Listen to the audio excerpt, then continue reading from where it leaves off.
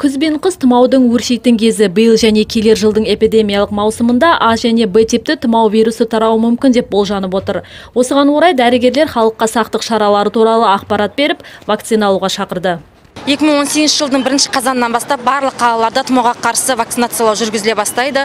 Ә, тұмау және жедел респираторлы вирусты инфекциялардың алдын алу шаралары бойынша ә, науқастар егер таты, өзін емдеумен айналыспау егер сіз ауырып қалған жағдайда тиісті мамандарға көрініп дәрігерді үйге шақырту қажет. Қала бойынша осы жылдың 8 айында жедел респираторлы вирусты инфекцияларды жұқтырған 2742 адам тіркелді. Оның 1749-ы 14 жасқа дейінгі бала. Тұмаумен жүзге тарта адам ауырған. Өткен жылмен салыстырғанда бұл көрсеткіш бір есеге өскен.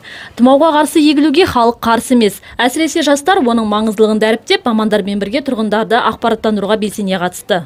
қарсы емеспіз аламыз жақсы мен өзім алдым бір бес алты жыл бұрын екі жылға дейін ауырмадым жақсы. Үш төрт жылға дейін тұмаумен ауырып көрген жоқпын. Жақсы алуға алған.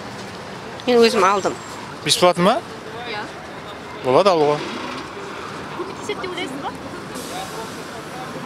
Ба- ал ал- бі- білмеймін қазір неде екі түрлі пікір айтылып жатыр. Біреулер көмектеспейді біреулер кері әсері бар дейді. Ал өзім алып көрген жоқпын. Иә алу керек деп ойлаймын. Өйткені адам өз өз денсаулығы туралы ойлау керек алдын ала. Ә, егер жұқпалы аурулардың алдын алу яғни айтқанда қай мезгіл болсын қыс болсын жаз болсын ауруханаға қаралып алдын ала шараларды алып отыру керек деп ойлаймын Вакцина алу бірінші қазаннан басталады. Ақысы 1100 теңге. Гүлнара Жолжанова, Алексей Оразов, Тәулік.